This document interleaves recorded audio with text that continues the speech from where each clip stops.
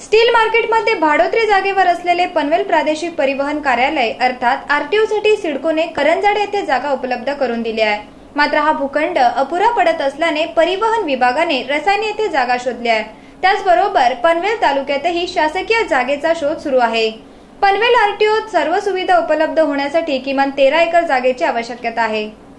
पनवेल परिसराच्या वाढत्या विस्तारामुळे ठाणे परिवहन आणि पेण उपप्रादेशिक परिवहन कार्यालयावर ताण पडत होता. स्थानिकांच्या मागणीनुसार राज्य परिवहन विभागाने नोव्हेंबर दोन हजार दहा मध्ये ठाणे प्रादेशिक परिवहन कार्यालयाचे विभाजन करून पनवेल प्रादेशिक परिवहन कार्यालय सुरू केले.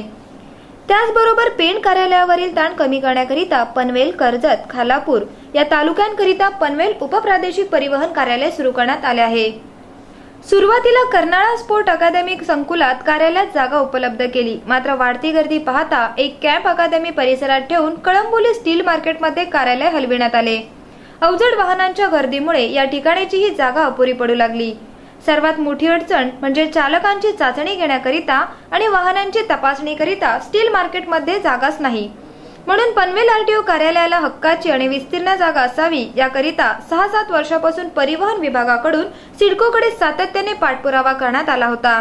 अखेर सिडकोने सकारात्मक भूमिका घेत करंजड येथे तेवीस हजार सातशे त्रेसष्ट चौरस मीटरचा भूखंड आरटीओ कार्यालयाला दिलाय. अडीच हेक्टर क्षेत्रावर तीन हजार पाचशे नव्वद चौमी जागेवर बांधकाम करण्याचा प्रस्ताव आहे. तळमजला अधिक चार अशी इमारत या ठिकाणी उभारण्याचं नियोजन आहे. परंतु वाहनांची तपासणी त्याचबरोबर चालकांना प्रशिक्षण देण्याकरिता हा भूखंड अपुरा असल्याने परिवहन विभाग पनवेल परिसरात दुसरी जागा शोधत आहे.